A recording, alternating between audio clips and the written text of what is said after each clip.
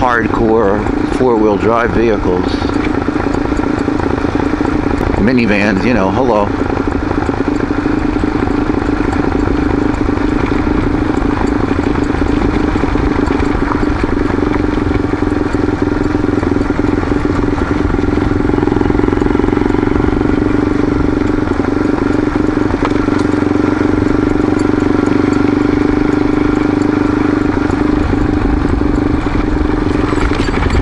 Definitely working up to a cracker break.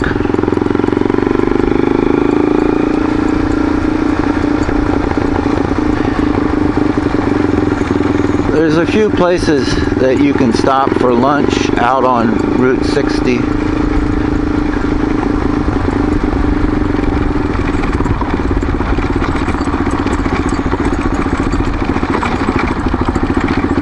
And this is the start of it.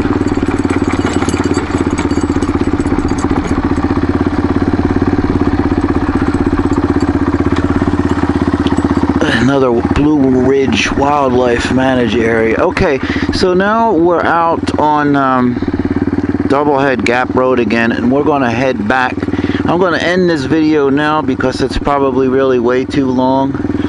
So um, if I find that other road, which is 95, maybe we'll start another little uh, excursion. Okay, right for now, it's time for a cracker break. Drive safe.